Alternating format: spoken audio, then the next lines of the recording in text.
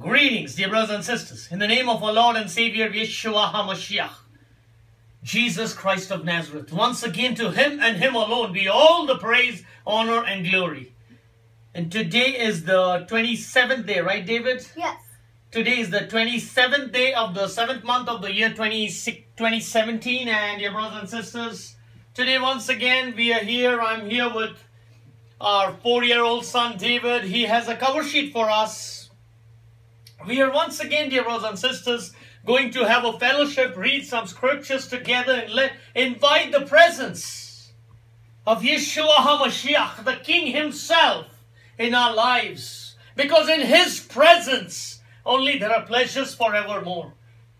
Because in His presence, only there will be deliverance from whatever bondage, whatever chain, whatever shackle today the enemy is trying to chain you with. Dear brothers and sisters, we welcome you today to please join us. Please have a fellowship with us. We welcome you today to read the scriptures together. Let invite the Holy Spirit in your life and let the Holy Spirit minister your hearts.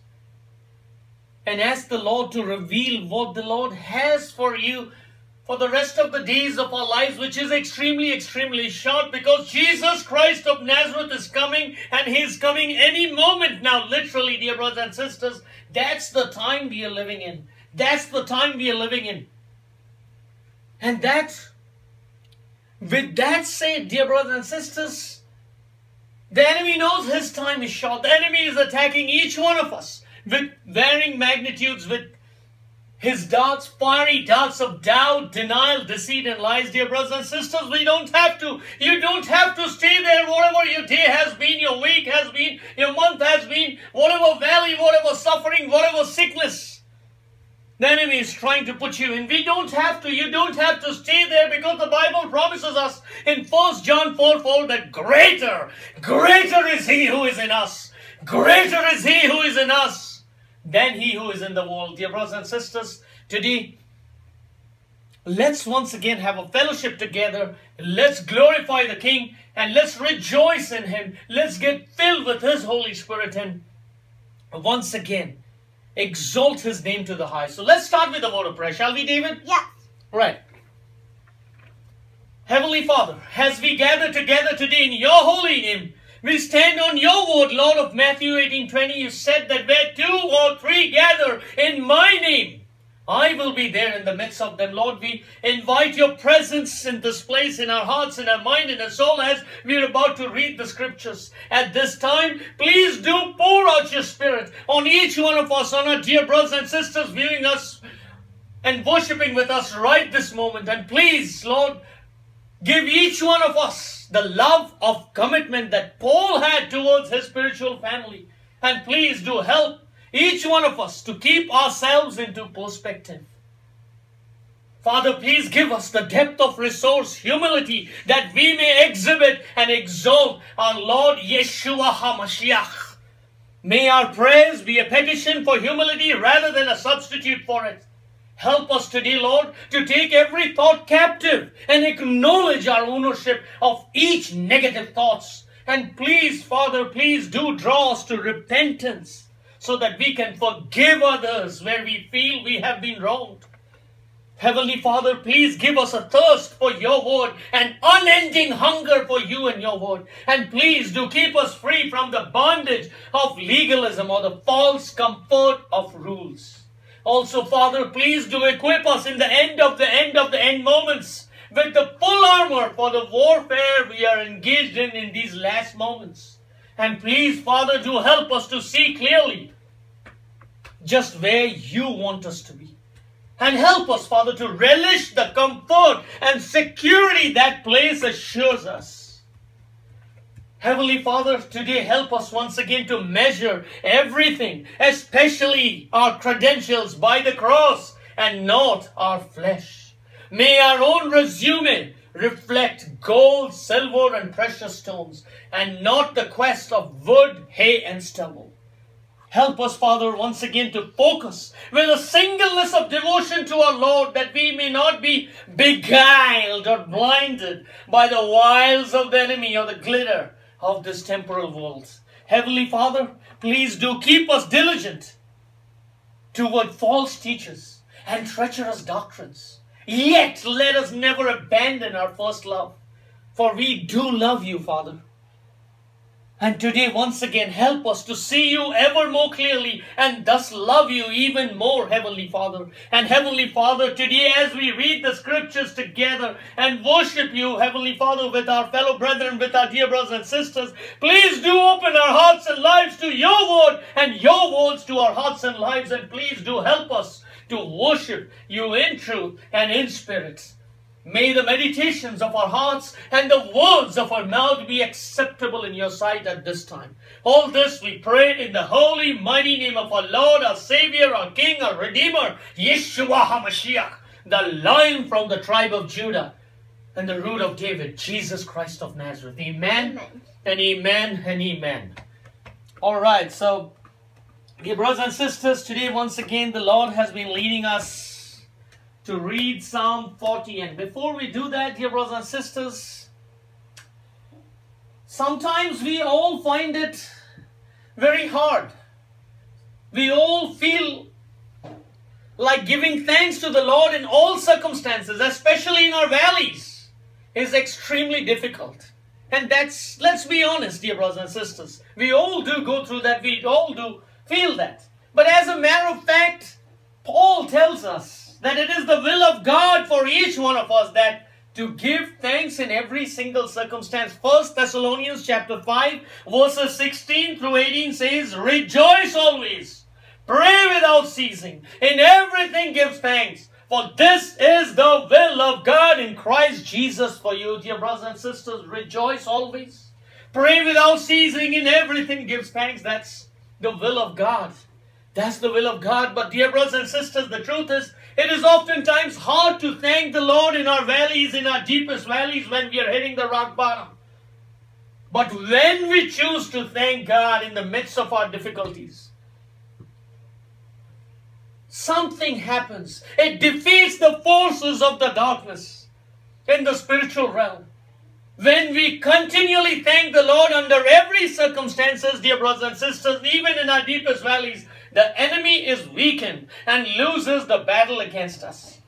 The enemy is stopped in his tracks when we come to God with a thankful heart. The Bible actually says in Romans, Paul says in Romans chapter 8 verse 28, and we know that, and we know that all things work together for good to those who love God, to those who are the called according to His purpose. Dear brothers and sisters, the most important thing to note in the scripture is, and we know that it's not we think, we hope, perhaps. No, we know that all our valleys, all our sicknesses, all our sufferings, all our troubles, whatever the enemy is putting us, God is, it is all God filtered and God is working it for a greater glory which we have no understanding in our dimension. But we know that all things work together for good to those who love God, to those who are the called according to His purpose. Dear brothers and sisters, today let us learn to be thankful for every situation in our lives. We need to learn to be thankful to Yeshua HaMashiach, our Redeemer, our Savior in the midst of our trials, dear brothers and sisters. And we, when we visualize ourselves from the standpoint of eternity, that makes it much easier, dear brothers and sisters. That makes it much easier for each one of us to be thankful under any circumstances, whatever, whatever the trial be, whatever our suffering be, whatever our temptation be, it makes it easier when we have an aerial view of our life from the point of eternity. Romans chapter 8 verses 16 through 18 says, The Spirit Himself bears witness with our spirit that we are children of God. And if children, then heirs, heirs of God and joint heirs with Christ.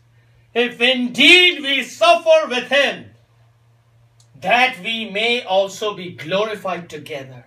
For I consider that the sufferings of this present time are not worthy to be compared with the glory which shall be revealed in us. Dear brothers and sisters, the sufferings of the present is nothing, not even worthy to mention. With the day our beloved, our Savior, our Messiah, Yeshua, his Hamashiach is bringing for each one of us. And dear brothers and sisters, King David realized that very well. That his present sufferings were not even worth comparing to the glory which Yeshua HaMashiach had in store for him. Yes, dear brothers and sisters, that is the truth. Our obedience, our thankfulness, our diligence, our perseverance, it's all going to be worth it. It's all going to be well worth it, dear brothers and sisters. And that's the backdrop of, the, of this psalm. In Psalm 40, which we are going to read now, we welcome you. We encourage you, dear brothers and sisters. We'll be using our New King James Version. We encourage you, please do. If you follow along or you can use, please do use your own Bible.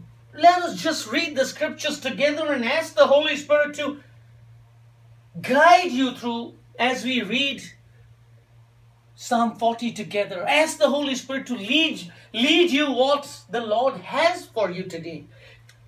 In Psalm 40, we see King David's heart of thankfulness. In the midst of deepest valley when he's hitting the rock bottom, that's where we see King David's heart of thankfulness. This is basically a psalm of declarative praise combined with the lament which we see. This psalm is a remarkable example of how troubles and difficulties force King David to depend continually on the Lord. Dear brothers and sisters, that's how we are designed to be. Whatever trouble, whatever valley, whatever suffering, if we go through Psalm 1, 103, Psalm 103, God, the creator of heaven and earth, has yearnings. Can you believe it? God has one question every single day. He will put circumstances, situations in our lives, and He will ask one question My child, do you trust me today that I will see you through? Not through your power or might, but through my Holy Spirit. Dear brothers and sisters, that's what God says every single day. Every single day, God finds a way to see whether we trust in Him, in His resources, on our, our strength, on our intellect. King David realized that, and he continually, every single time, through his troubles and difficulties, he depended every single time on the Lord. This Psalm, Psalm 40, is a it has 17 verses and the structure of the psalm is like this. It's verses, when we see the first three verses, 1 through 3, it tells us a report of deliverance. The next two verses, verses 4 and 5, it is an instruction to the people to commit their lives to Yeshua HaMashiach. Verses 6 through 8, we see a confession about worship. Verses 9 and 10, we see a report to God of the fulfillment of the vow of praise verses 11 and 12 is a renewed lament. Verses 13 and 15, King David talks about a set of petitions for deliverance. And the final two verses, 16 and 17, it talks about continuing praise in the midst of trouble. So let's jump into Psalm 40 and you can please follow along, read or read your own, have your own Bible and let the Holy Spirit guide you. Psalm 40. I waited patiently. A psalm of David. I waited patiently for the Lord, and he inclined to me and heard my cry. Dear brothers and sisters, here the Hebrew translated, I waited patiently, literally means waiting, I waited. The emphasis of this phrase is not really on patience, but on the fact that King David waited solely and solely on the Lord. The word to wait expresses a confident trust which is not shaky, an unshakable, unmovable faith in the Lord. I waited patiently for the Lord, and he inclined to me and heard my cry. He also brought me up out of a horrible pit, out of the miry clay, and set my feet upon a rock and established my steps. He has put a new song in my mouth, praise to our God. Many will see it and fear and will trust in the Lord. Blessed is that man who makes the Lord his trust.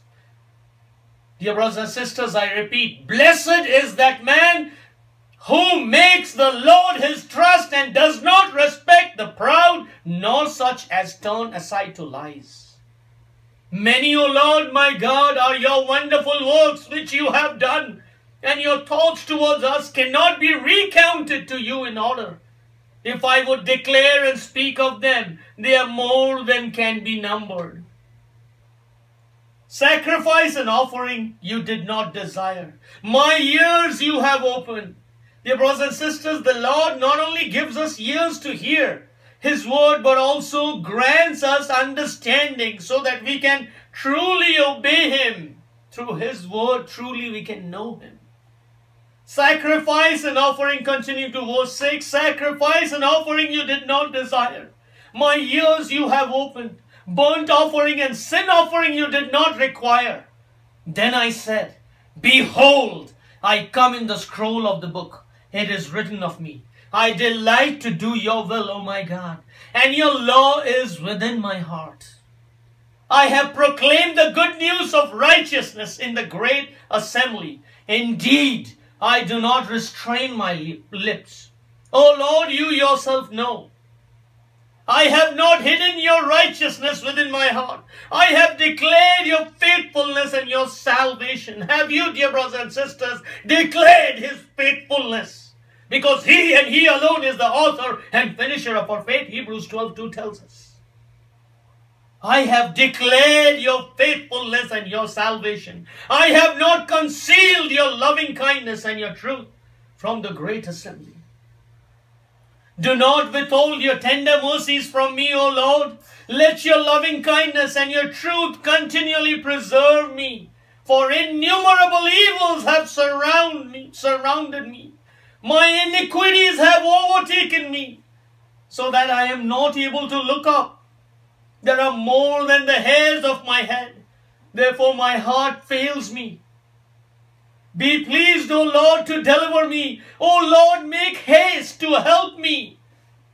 Let them be ashamed and brought to mutual confusion who seek to destroy my life. Let them be driven backward and brought to dishonor who wish me evil.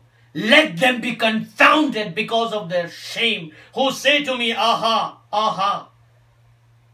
Let all those who seek you rejoice and be glad in you. Let such as love your salvation say continually, The Lord be magnified. The Lord be magnified. But I am poor and needy, yet the Lord thinks upon me. You are my help, my deliverer. Do not delay, oh my God. Praise God, praise God, praise God. Dear brothers and sisters, what a staggering promise what a staggering promise the Lord has that Lord, His eyes are set upon us. The Bible says in Psalms 34, 19, dear brothers and sisters, many are the afflictions of the righteous, but the Lord delivers him out of them all. Dear brothers and sisters, today as David sings for us, I have decided to follow Jesus as we see the cover sheet up there. The scripture, the Luke 9.23, we see there, tells us if anyone desires to come after me, that's Jesus telling, talking. Let him deny himself, take up his cross and follow me. Dear brothers and sisters, whatever the cross today, whatever is your cross, whatever your troubles, your burdens, your sufferings are, let's pick it up, let's carry it and let's sing together and let's follow Jesus. Let's come to his presence. Let him minister your heart with his Holy Spirit and let the Spirit of God pour out and cry out that Jesus Christ of Nazareth is the King of Kings. Jesus Christ of Nazareth is the Lord of Lords and the name above every single name, my Redeemer, my Savior, my God, Yeshua HaMashiach. So let's, you can get started, David. So let's join us, dear brothers and sisters, as David sings for us today.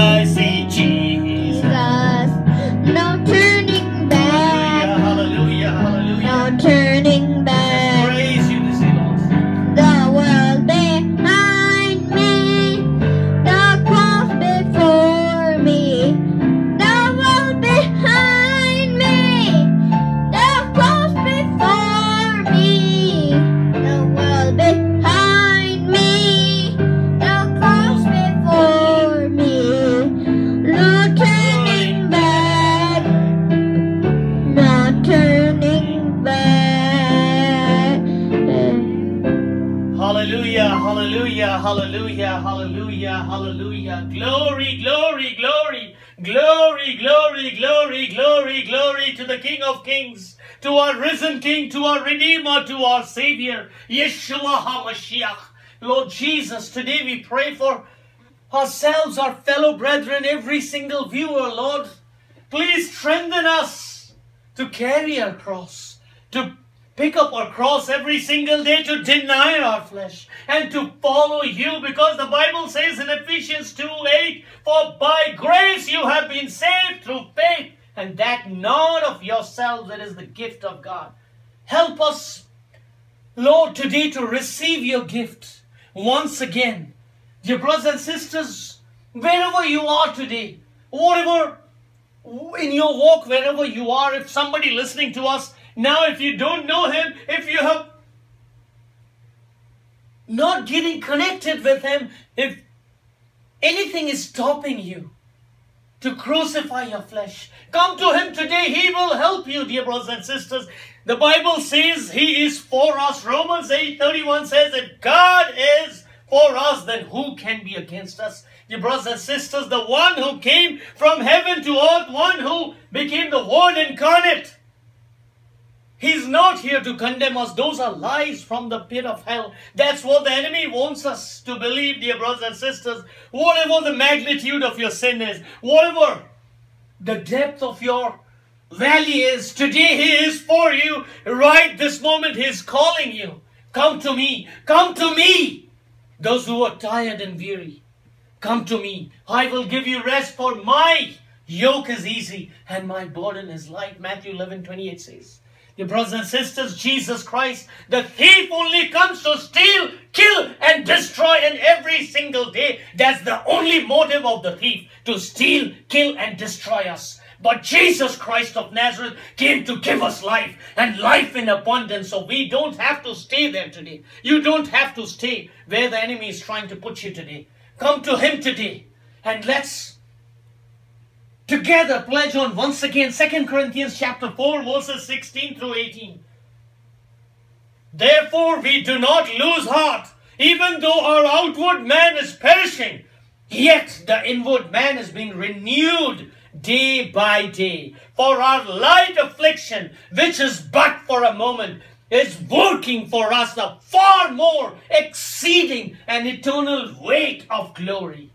While we do not look at the things which are seen, but at the things which are not seen. For the things which are seen are temporary, but the things which are not seen are eternal. Hallelujah, hallelujah, hallelujah.